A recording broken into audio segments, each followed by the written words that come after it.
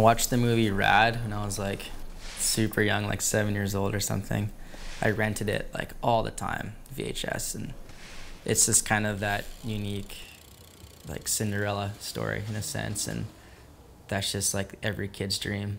And so once I watched that, then you know it gave me goosebumps, and that's just like I knew exactly what I was gonna do.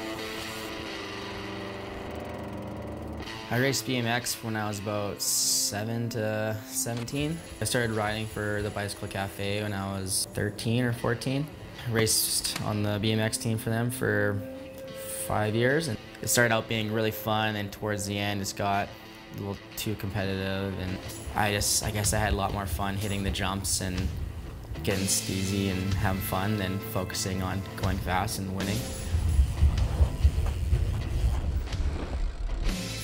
Can't say I, I hate competition. It, it's always, you know, a, a, fun thing to do.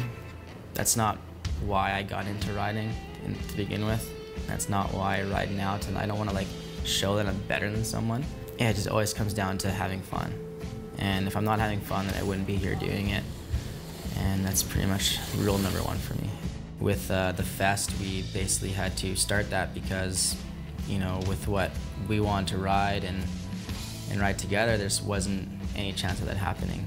Um, nobody was going to make that contest for us or make that platform for us. So basically, we had to take it into our own hands. You know, a group of riders can get together and, and make a change in this industry.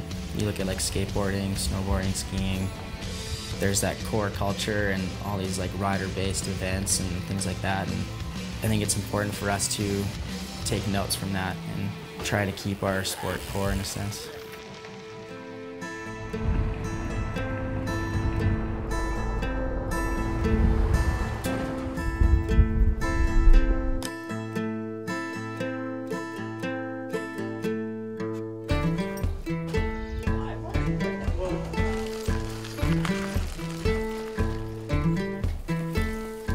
Farm is kind of a secret, but not really. Like a lot of people know about it, but very little people have actually witnessed that place firsthand and seen what that place is like. And yeah, it's a cool place. it's a it's a kooky place for sure. If anyone's ever been there, I'm kind of numb to it now, but it's just a really fun and chill vibe, and we have a lot of fun out there. And I think that's what helps us the most is kind of riding shit like that and not being stressed about it and not really having any eyes you don't want there. And forward and then somehow the clip that holds the boat on at the front just kind of declipped and then we took off in the intersection and dumped this sucker right on the highway in the middle of the highway. Yeah, there you go. My name is Ron Penny and uh, we're at the farm.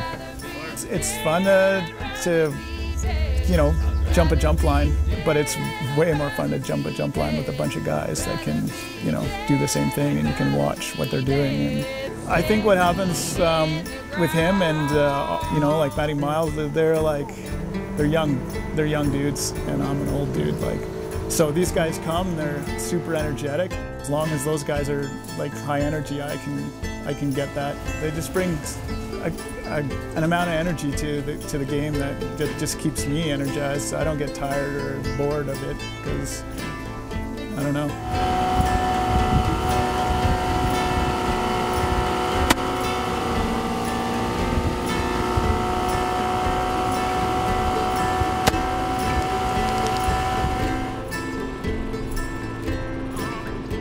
I moved to this spot in BC because it offered terrain that allowed me to go and ride my bike big and fast.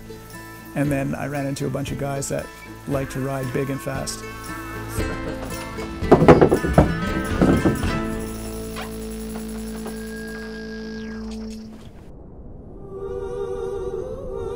Rampage is a, a tough event, um, not only physically, but probably more mentally. Yeah, there's a lot happening, a lot going on that you know the general public doesn't see.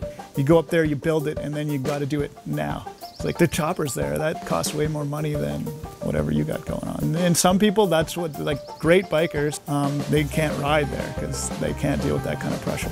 And I've never seen anybody deal with that as well as Graham.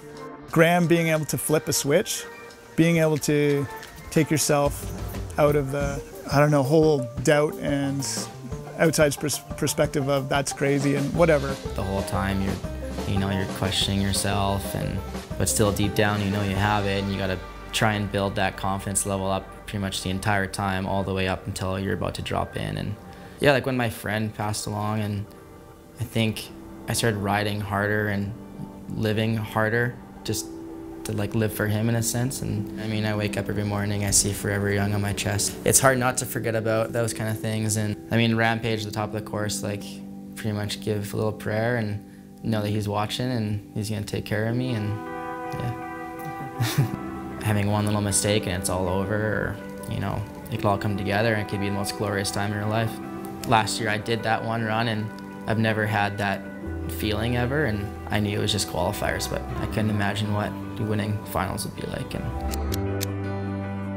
I burst into tears when I got to the bottom just like seeing all my friends running down everyone screaming and yelling and I mean I knew what I just did and I don't know it was it's, it was really cool that guy at the top of Rampage when it was go time like he makes a decision and he flicks a switch better than anybody I know.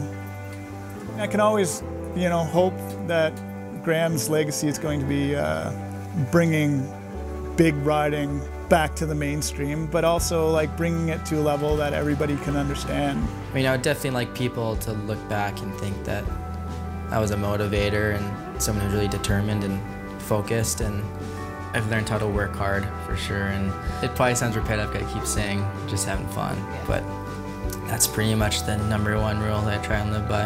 Yeah, if you're not having fun, then there's no point in doing it. Just trying to have as much fun as I can right now and enjoy these days as much as I can.